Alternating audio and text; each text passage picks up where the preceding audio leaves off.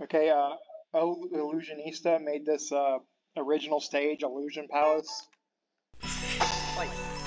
Now, uh, before I worked on it, you see all these blocks floating in the background? Like, they were pretty much covered in stray pixels. And, uh, so I went and made sure, like, I went and after every last block and got all these stray pixels off of them. And uh, the rotating animation blocks, same thing, they had straight pixels on them. And uh, they could use some touching up. Uh, besides straight pixels, I like did other things to touch up the sprites and make them all nice. There's probably like 300 blocks or something crazy back there. So those all got touched up to look nicer. This floor I left completely alone, and the main background sky image I left alone. So, uh, mainly just major sprite touch-up on all these blocks. Oh, there was also on, um, like, clipped-off blocks in the background, like, near the top and bottom of this uh, art.